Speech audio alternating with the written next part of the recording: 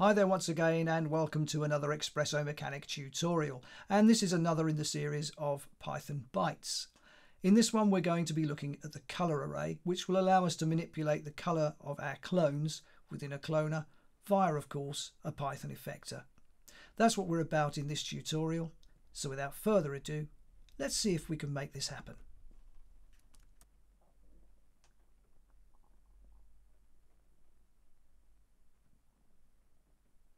The first thing to bring in, as I so often do, will be a cube. Change it to 20 by 20 by 20 and give it a fillet of one centimetre. Throw this into a cloner, so I'll hold down my Alt key, click on the cloner, and we've got that in there.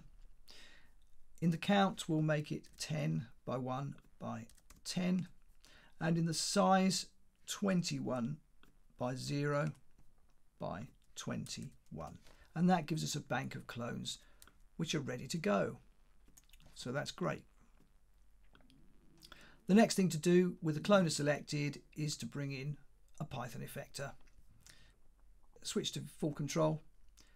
And then we can select a scripting layout and open our Python editor so that we're ready to go. And then all we need to do is remove the loop. Hit execute and everything is perfectly set up for us.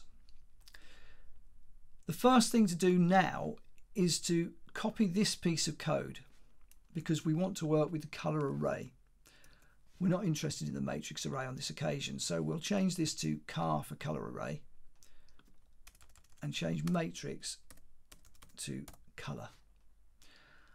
Everything else is working so far, so that's fine. And then we can say car let's say car zero. So we'll work with our initial clone, our clone over here in this corner. And to work with the color, we simply have to work with vectors. So we can say is equal to c4d dot vector and then it's brackets and I'm just going to place a single value in the brackets at the moment which must be a value between 0 and 1. So I'm just going to put 0.5 in there for now and let's hit execute and see if anything happens. Well it doesn't, and I know why it doesn't. It's because we need to copy this piece of code.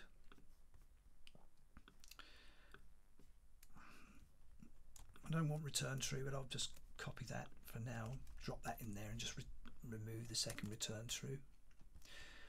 So what I need to do here is simply say color and car and this will update the color array. As you can see, the matrix array is already taken care of. We didn't need to touch that, but we needed to do the same thing for the color array, otherwise nothing will happen. So if I now hit the execute button, you can see that we've got a grey clone. And that clone's value is all three values, in fact, the red, the green and the blue are set to 127, even though I've put 0.5 in there. Now we can achieve the same result. If I put 127 in there divided by 255, it will give us the same value. You can see when I execute, nothing has changed.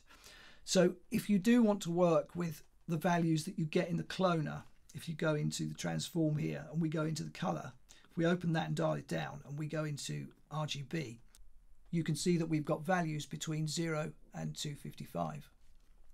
So if you want to work with this range of values in the Python editor here, this is the method that you must use in order to make that work because it wants a value internally of zero, well, between 0 and 1. It's, so this is the way you achieve it. So a single value between the brackets of our vector only gives us grayscale values because of course it's manipulating all three of these values in one hit. So it's like a uniform scale, it's like a uniform colour you could call it that and it would be quite accurate. But if you want to work with the, the red, green and the blue separately, again, it's just a, a different method, of course. We simply have to say, let's say if we want all the, that, that clone or our first clone there to be red, if we just say 1, comma, 0, comma, 0, now our, that's the same as turning our red up to 255 and obviously our green and blue down to 0. So we're going to get fully red and nothing else. So if we hit execute now, we get a red clone.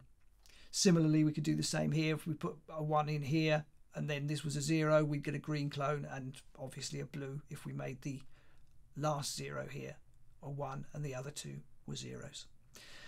And of course, we can manipulate them in various different ways and have any color combination that we want. So that's how you go about using the color vector. So if we wish to control all of our clones, we resort to, of course, a for loop. So we can say for i in range, as always, CNT for count, drop this into here, and place I in there and now we get all red clones. Not much point in doing that because of course we could come into our colour here and just turn them all red anyway. So we wouldn't use this to do that but we can do other things that are more perhaps more interesting. If we once again let's bring in uh, the random module from Python. So if we say import random and then in here we say well we'll define we'll define, let's define four variables actually. So if we say RND is equal to random dot random, random dot random allows you to generate a value between 0 and 1. You just need to put brackets after it and that will generate a value between 0 and 1. So it's perfect for what we want to do here because obviously we've said that we want our color vector to work with values between 0 and 1. So if we say random dot random, what we can simply say then is RND in there and now all of our clones are grayscale values between 0 and 1. So that's perfectly good if you want to work with grayscale values. That's one way that you can work with this. Obviously there are other methods you can use. You don't have to use random values, but it's just great for illustrative purposes.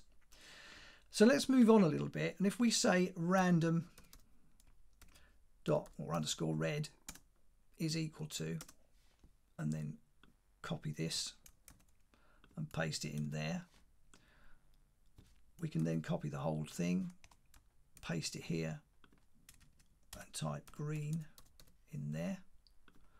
Paste it in again and type blue.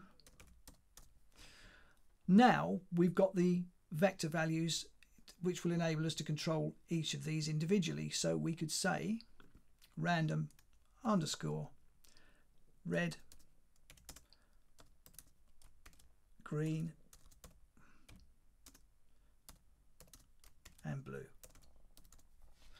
And now if we hit execute, we get random colors. So there you go. That's the color array. Really quite simple and quite straightforward to use. But as you can see, you can take quite a lot of control of, of the color here, or full control of the color by using this simple setup. But anyway, that's about as much as I really wanted to show you in this tutorial. So, as always, I hope it's been of use to you and you've got a little bit more knowledge. And if you have enjoyed the tutorial, then please give it a thumbs up. And of course, if you haven't already subscribed to the channel, then please do so. Please leave a comment and of course, ring the bell. And wherever you happen to be on social media, then please, please share the video because all of this good stuff helps to keep the channel moving in the right direction. But anyway, that one's about wrapped up for now. So I'll see you very soon on the next tutorial.